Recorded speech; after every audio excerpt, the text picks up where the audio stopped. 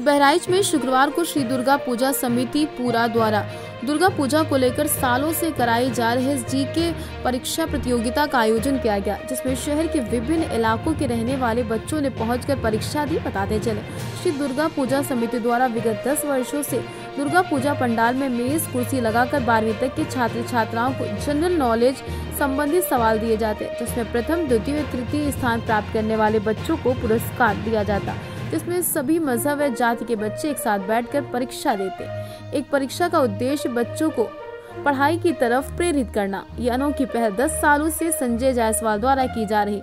हर साल परीक्षा देने वाले बच्चों की संख्या में इजाफा होता इस वर्ष भी सैकड़ों बच्चे एक साथ बैठकर परीक्षा दिए, जिनमें प्रथम, द्वितीय, तृतीय स्थान प्राप्त करने वालों को पुरस्कृत किया जाएगा। सर लेकिन आया तो बैठा दिया जी। बैठिए बैठिए बाइक रखिए चलिए जाइए।